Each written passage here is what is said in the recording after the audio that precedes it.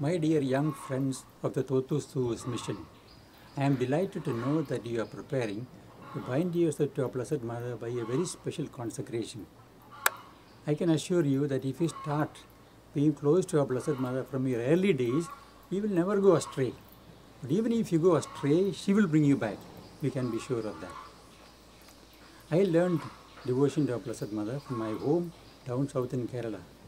In Kerala, we have a custom, most families have this custom of evening prayer before the evening meal. So until we finish our evening prayer, there will be no meal. And the prayer always includes the rosary of our Blessed Mother as well as a litany.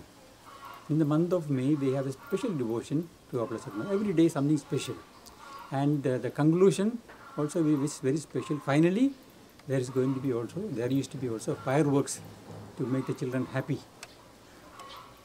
Then when I came to the aspirant at, the age of 12, I came to Calcutta, Kolkata, I call it, uh, and Bandel is the shrine of our Blessed Mother of Happy Voyage, a miraculous statue, and a place where many pilgrims come to pray to our Blessed Mother. So we were in the atmosphere of uh, our Blessed Mother's presence, literally under the mantle of our Blessed Mother. And we were taught to be devout, devout to our Blessed Mother by our superiors, by their words and their actions. Later on, we proceeded to Darjeeling for our continued formation, and there also same same practices used to be there. In the month of May, as we used to go for walks in the hills and valleys of uh, Darjeeling Hills, we used to stop in the clearing in the jungle, collect flowers, and improvise an altar with some pictures of our Blessed Lady, and then sing hymns to our Blessed Mother, as well as narrate incidents about uh, the wonderful things she used to uh, do in the lives of people. Then, when I went to the novitiate in Shillong, under the direction of good John, Father, Father John Med of happy memory, he was also very de uh, devoted to our Blessed Mother.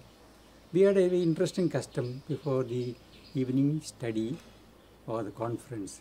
We used to gather around the Blessed Mother statue and every novice had to intone a hymn to our Blessed Mother. Even the fellows who could not sing properly had to practice and intone the hymn to our Blessed Mother.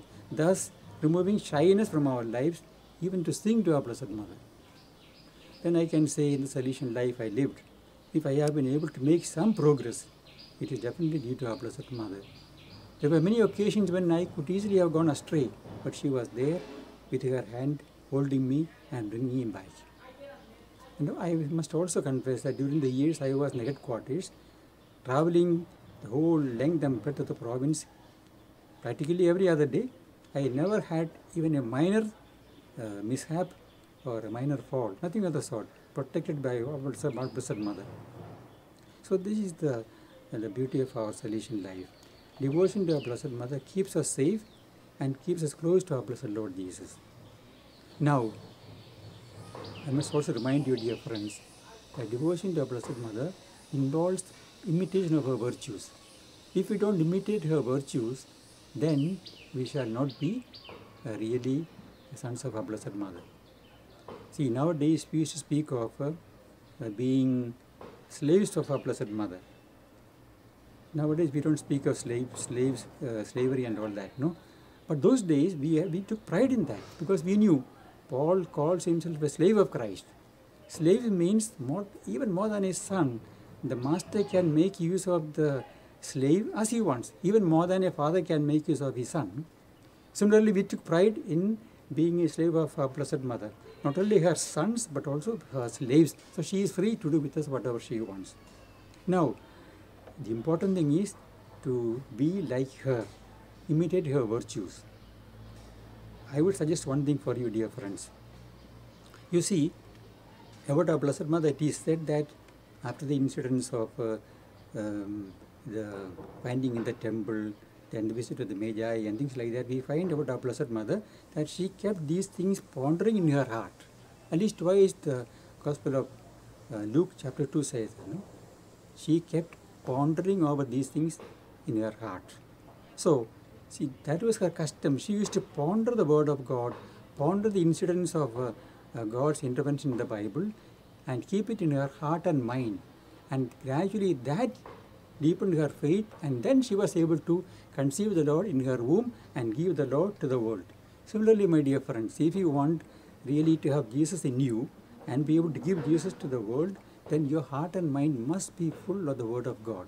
If my heart is full of films and sports and uh, ice cream and all these worldly things only, then what will come out is only that.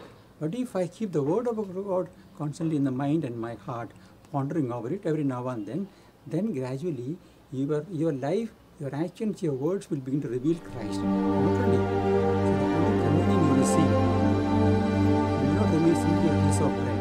It will be the living Christ.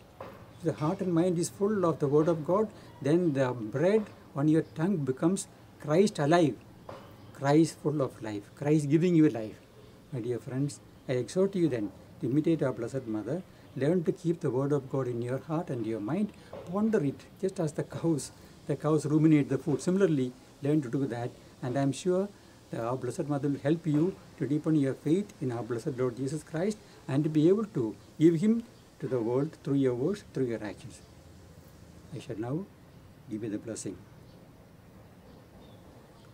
Heavenly Father, we come before you. We ask you to bless these young brothers, young sons of yours. They are preparing to be closely bound to our Blessed Mother. We ask you, Father, keep them from all harm, protect them from all evil, enable them to overcome the temptations and allurements of the world.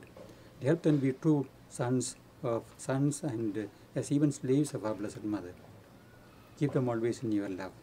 Dear Mother Mary, be a mother to them, hold them by hand, and lead them closer to you and your blessed, blessed Son.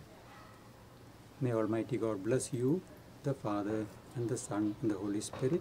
Amen. God bless you all.